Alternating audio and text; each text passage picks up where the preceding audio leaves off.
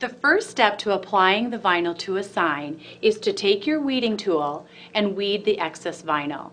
It's a good practice to weed the object boxes first and then the outer perimeter.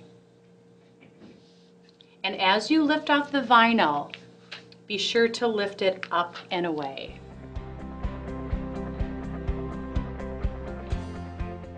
So once you have finished weeding the excess vinyl, you want to take your roll of transfer tape. This is a six inch roll, which you're going to lay on top of your sheet of vinyl. So it's a 12 by 18 inch sheet of vinyl, so you need two strips of transfer tape. So just do a quick measure. And this transfer tape is such where you don't need scissors. You can just rip it right off. Take the first strip and just lay it flat onto your sheet of vinyl.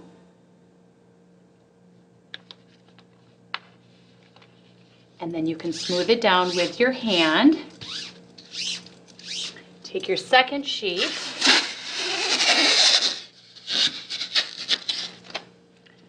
Again, rip it off the spool.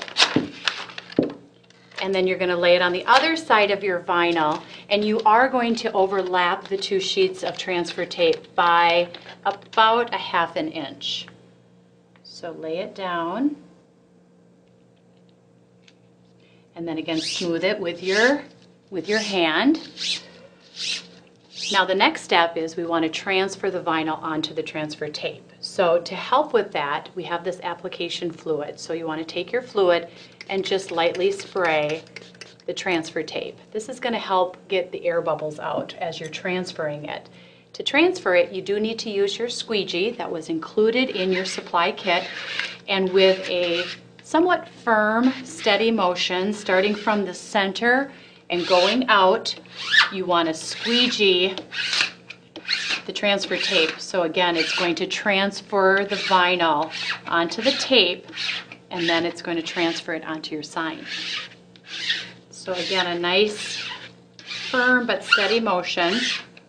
Once you're done with the squeegee, then proceed to lift the transfer tape off the backing and make sure that you're lifting the vinyl along with it. You may need to reinforce certain areas with your finger, but it's just a nice fluid motion uh, as you lift it off, as I said, the backing of the sheet of vinyl.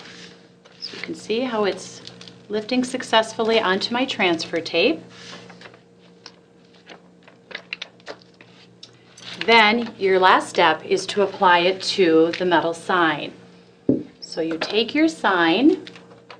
The application fluid also works nicely to spray onto the sign. See, to spray it on.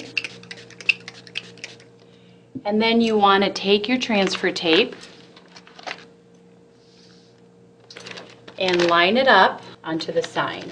Take your application fluid again, again to help with the air bubbles, lightly spray the transfer tape and then squeegee it again this time applying it directly to the sign. A nice fluid motion from the center out, just like so. Now, once you're done with the squeegee, go ahead and peel off the transfer tape. Do it gently and you can see how the vinyl adheres to the sign.